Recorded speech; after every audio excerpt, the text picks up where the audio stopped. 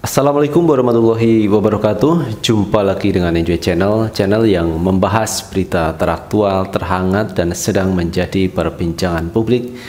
Teman-teman kali ini yang akan kita bahas mengenai isu kudeta di Partai Demokrat. Sebagaimana kita lihat kemarin teman-teman bahwa AHY itu e, menyampaikan dalam pidatonya itu ada beberapa orang yang akan melakukan kudeta di Partai Demokrat. Ada kelompok di internal Demokrat yang menginginkan terkait kudeta itu. Dan yang menjadi sorotan dari AHY adalah ada juga eksternal yang juga ingin melakukan upaya pengambil alian kekuasaan dari AHY dan kelompok eksternal itu adalah di lingkaran Presiden Jokowi dan kemarin Andi Arief menyebut bahwa orang yang dimaksud eksternal di lingkaran Jokowi yang terlibat dalam rencana kudeta adalah Muldoko. Ini sudah disebut di berbagai media sosial, media massa bahwa Muldoko adalah salah seorang yang akan melakukan kudeta terhadap Partai Demokrat.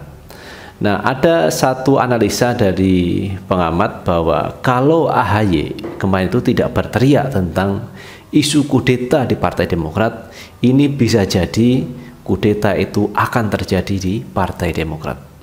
Jadi untung saja AHY ini berpidato dan berkirim surat kepada Presiden Jokowi minta klarifikasi terkait orang di sekitar Presiden Jokowi yang akan melakukan kudeta di Partai Demokrat.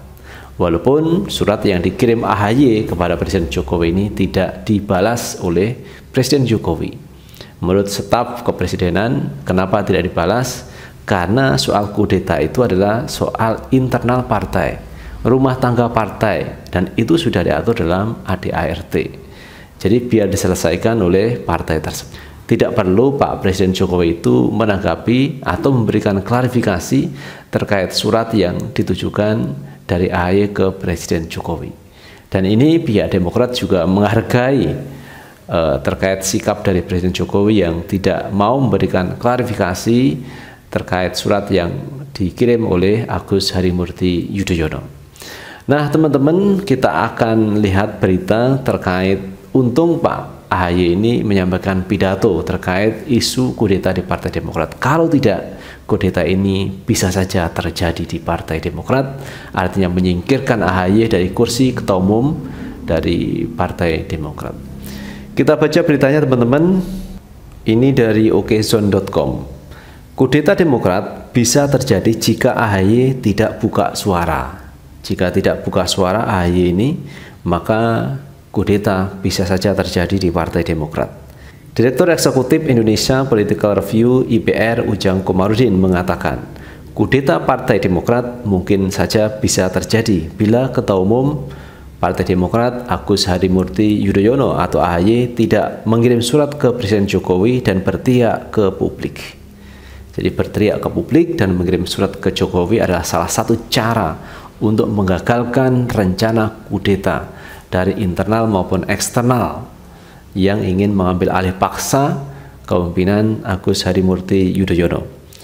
Jika kemarin AHY tak berteriak ke publik dan tidak berkirim surat ke Jokowi terkait akan ada gerakan kudeta, maka bisa saja di bulan ini kudeta ini bisa terjadi, kata Ujang saat dihubungi MNC Portal Indonesia. Karena kalau kita melihat teman-teman beberapa partai ini yang e, pecah ini juga terjadi KLB, Kongres Luar Biasa. Jadi perpecahan di tubuh partai ini dimanfaatkan untuk membuat organisasi baru, membuat kepemimpinan baru dengan menggelar KLB. Ini terjadi di Partai Berkarya kemarin. Kalau jauh-jauh hari ini AHY berteriak, ini bisa aman Partai Demokrat dari uh, kudeta pihak eksternal maupun internal di Partai Demokrat. Menurut Ujang, posisi AHY di pucuk pimpinan partai untuk sementara ini aman karena ia telah membongkar dugaan kudeta tersebut ke publik. Lebih-lebih ia juga menyampaikan ke Jokowi melalui surat meskipun tak mendapat jawaban. Ya tidak apa-apa, tidak ada jawaban. Yang penting AHY sudah menyampaikan ke publik. Ini warning, ini peringatan, ini hal-hal yang perlu disampaikan ke publik agar publik tahu sehingga kudeta ini terbongkar. karena AHY sudah tahu duluan sehingga dia ngomong ke publik. Karena AHY melakukan dua strategi itu, maka untuk sementara AHY aman jelasnya. Namun demikian, Ujang memprediksi ke depan AHY masih akan terus digoyang oleh kekuatan eksternal. Karenanya Demokrat harus bersikap tegas melawan segala bentuk intervensi dari pihak luar. Tapi ke depan sepertinya AHY masih akan terus digoyang-goyang oleh kekuatan eksternal sikapnya harus jelas yaitu melawan segala bentuk intervensi pihak luar itu. Sebagaimana diketahui Ketua Umum Partai Demokrat Agus Harimurti Yudhoyono menyebut ada pejabat pemerintahan yang terlibat dalam upaya pengambil alian paksa kursi yang didudukinya. Tak tanggung-tanggung AHY menyebut orang itu berada di lingkaran dekat Presiden Jokowi. AHY juga mengirim surat resmi kepada Presiden Jokowi untuk mengklarifikasi hal ini. Selain pihak eksternal, ada pula pihak internal yang terlibat dalam gerakan ini. Mereka terdiri dari kader Demokrat aktif, kader Demokrat tidak aktif, kader yang sudah diberhentikan, dan kader yang keluar dari Demokrat. Itu teman-teman uh, upaya kudeta dari eksternal maupun internal yang akhirnya dibongkar oleh AHY.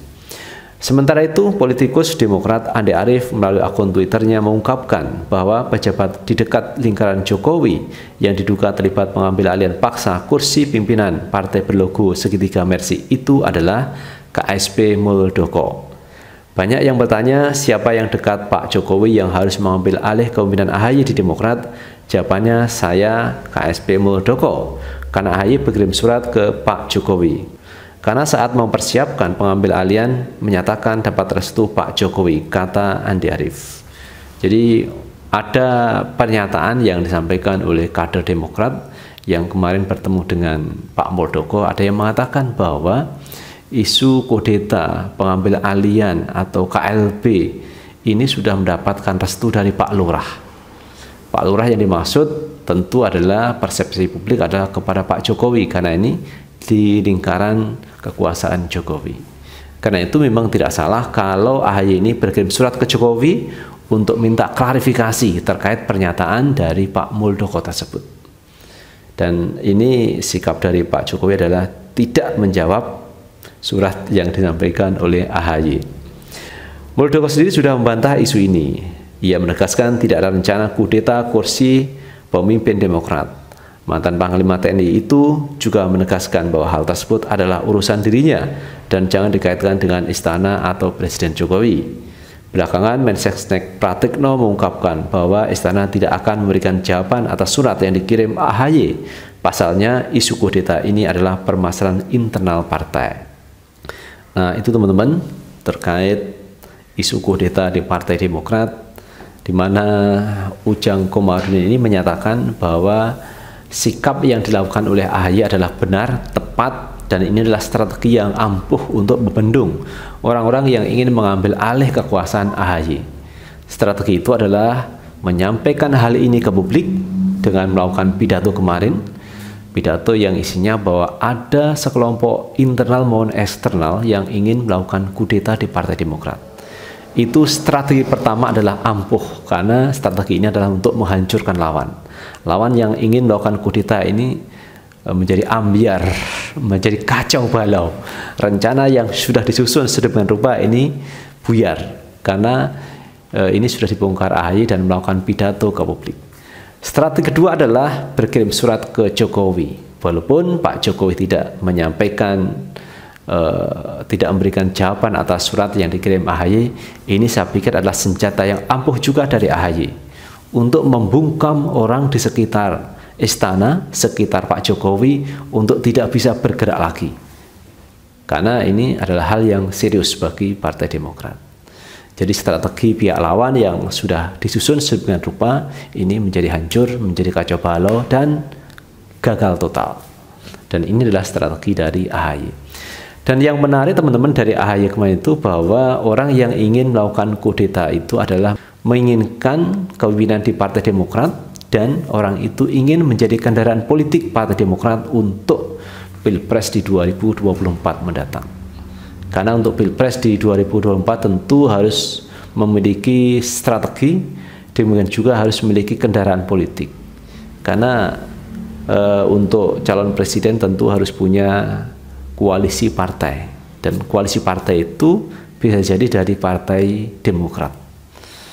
Jadi koalisi partai penting untuk mengumpulkan suara karena seorang calon presiden tentu harus mengumpulkan beberapa partai politik berkoalisi untuk mengajukan seorang calon presiden. Tetapi ada kader dari Partai Demokrat kemarin yang mengatakan kalau Pak Muldoko menginginkan untuk menjadi calon presiden ini sebaiknya itu datang ke Pak SBY minta baik-baik Pak SBY Pak SBY saya mencalonkan menjadi calon presiden di 2004 minta dukungannya dari Partai Demokrat. Nah nanti akan dibicarakan di internal Partai Demokrat. Itu kemarin ada yang mengusulkan seperti itu. Tidak dengan cara melakukan kudeta pengambil alian kekuasaan secara paksa. Ini menjadi tidak sopan tidak menarik dan ini cenderung menjadi persoalan baru lebih baik Pak Muldoko datang ke Pak SBY e, minta dukungan untuk menjadi capres di 2024. Ada yang mengatakan seperti itu. Kalau menginginkan menjadi calon presiden.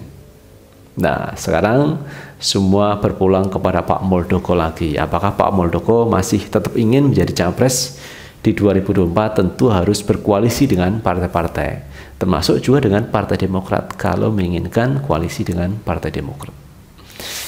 Itu teman-teman yang bisa kita bahas hari ini terkait isu kudeta yang sudah dibongkar oleh AHY yang membuat pihak lawan ini berantakan dan tidak bisa melakukan kudeta di bulan ini. Dan ini sesuai dengan uh, yang disampaikan oleh Ujang Komarudin yang mengatakan bahwa posisi AHY saat ini aman karena sudah dibongkar orang yang akan melakukan kudeta di Partai Demokrat. Dan terima kasih teman-teman telah menonton video ini. Jangan lupa tetap like, subscribe, share, dan komen di channel ini agar kita bisa membangun channel ini menjadi lebih baik lagi. Sukses selalu. Assalamualaikum warahmatullahi wabarakatuh.